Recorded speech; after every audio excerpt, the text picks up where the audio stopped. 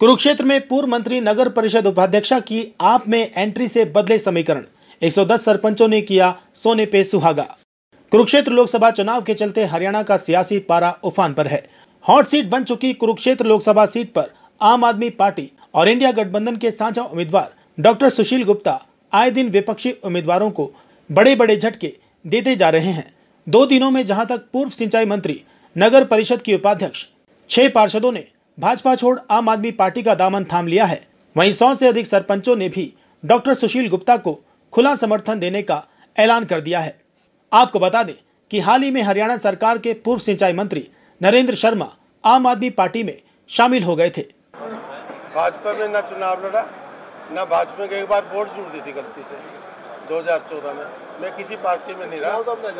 चुनाव तो मैं आज़ाद चुनाव तो हमने आज़ादी लड़े। हैं गुप्ता जी को पता है, सबको पता है। अब भी चुनाव जात लड़ने का था, गुप्ता जी आगे। और बैठ के भी चलो, अब तो समर्थन दे। इस देश की परिस्थितियों को देखते हुए, जैसे श्री हमारे माननीय राज्यसभा सांसद संजय सिंह ने कहा, आज हिंदुस्तान की नौजवानों की, गरीबों की, व्यापारियों की, मजदूरों की एक ज़रूरत है इस देश को पूंजीपतियों से कैसे बचाया जा सके।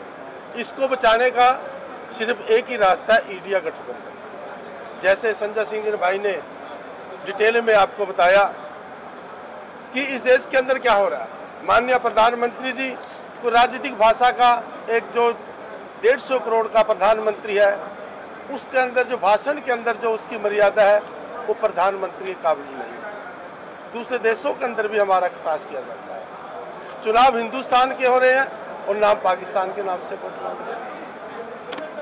इसके अंदर जैसे हमारे देश का जवान है, अग्निवीर उसको चार साल के लिया।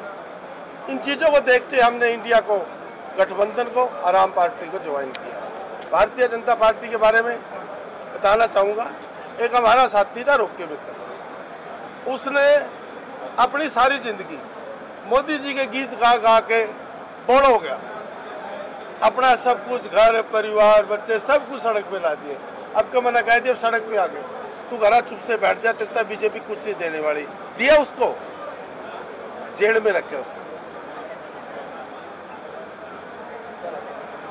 तो नरेंद्र शर्मा जी इससे पहले क्या भाजपा में थे आप? पहले ये भी कौन सी पार्टी कर दीजिए। पहले कौन सी पार्टी में थे? मैं तो शुरू से ही निर्दलीय चुनाव लड़ते आ रहा हूँ। आपका नाम जो भाजपा के साथ भी जुड़ा हुआ चर्चा में रहा है। हाँ, आपका नाम भाजपा के साथ भी जुड़ा रहा है और चर्चा में रहा है। चर्चा में तो रहेंगे हम राजनीतिक आदमी में चर्चा में तो रहेंगे ना? तो स्टैंड और किस चीज़ में रहेंगे हम? स्टैंड के कर दीजिए हाँ? भाजपा में थे या निर्दलीय थे? निर्दलीय था मैं तो। अच्छा, निर्दलीय हाँ निर्दलीय चुनाव लड़ा मैंने। भाजपा के साथ कोई संबंध नहीं। कोई मैंने बोला था एक बार वोट दी है 2014 में लोकसभा की। मंत्री कौन सी उसमें रहे हैं किसमें चौधरी ओम प्रकाश चौटाला सरकार में मंत्री रहे।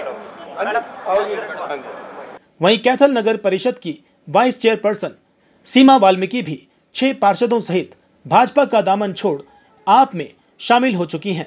सबसे पहले तो मैं आप सबके चैनल के माध्यम से सबको नमस्कार करती हूँ। तो हम सब भारत के पढ़े लिखे नागरिक हैं, संवैधानिक भारत में जी रहे हैं। तो हर व्यक्ति को सबसे पहले मान सम्मान चाहिए होता है। दौलत शोहरत सब बाद में चाहिए होती है। मेरे को लगा और लगा क्या आप सबको पता भी है तो मेरे को मान सम्मान नहीं मिला भाजपा सरकार में। और भाजपा सरकार में हर छोटे से छोटे कार्यकर्ता को और बड़े से बड़े कार्यकर्ता को पता है कि मेरे साथ क्या कुछ हुआ है, लेकिन किसी ने मेरी कोई मदद नहीं करी। तो इस करके और मेरा बिल्कुल मन उतर गया था इस सरकार से। इसलिए मैंने आज चौधरी रणदीप सिंह जी की अध्यक्षता में आज मैं भारतीय गठबंधन पार्टी को ज्वाइन कर वहीं गुप्ता को सरपंचों का भी भरपूर समर्थन मिल रहा है। पिछले कल शाहबाद ब्लॉक के छिहत्तर में से सत्तर सरपंचों और आज सीवन ब्लॉक के चालीस सरपंचों ने भी डॉक्टर सुशील गुप्ता को अपना समर्थन दे दिया है। डॉक्टर सुशील गुप्ता ने कहा कि सरकार ने ई टेंडरिंग लाकर असंवैधानिक तरीके से पंचायतों सरपंचों के अधिकार छीन लिए हैं। गुप्ता ने सरपंचों को विश्वास दिलाया कि वे सरपंचों को उनका हक दिलाकर रहेंगे। चाहे इसके लिए उन्हें राज्य सरकार के खिलाफ जाना पड़े या केंद्र के खिलाफ। कुरुक्षेत्र की लोकसभा सीट पे बिना शर्त समर्थन दिया।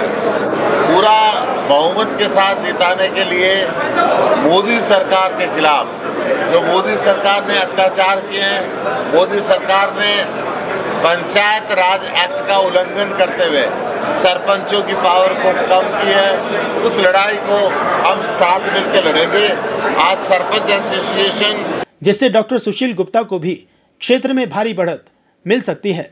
पिछले दिनों हरियाणा दौरे पर रहे आम आदमी पार्टी के नेता व सांसद संजय सिंह ने कहा है कि कलयुग के इस धर्म युद्ध में पूरा कुरुक्षेत्र हमारा साथ दे रहा है।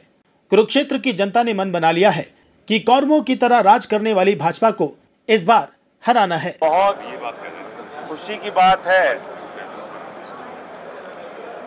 कि हरियाणा सरकार के पूर्व मंत्री जिनके पास सिंचाई विभाग जैसा महत्वपूर्ण विभाग रहा,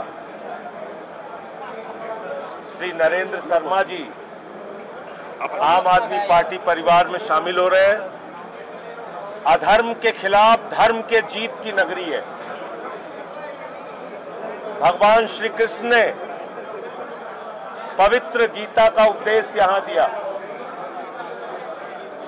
कौरवों का नाश करने की कहानी जो प्रधानमंत्री मोदी के नेतृत्व में इस देश में कौरवों का राज चल रहा है, उसका नाश करने की शुरुआत, उसकी तैयारी कुरुक्षेत्र और हरियाणा के लोग कर चुके हैं।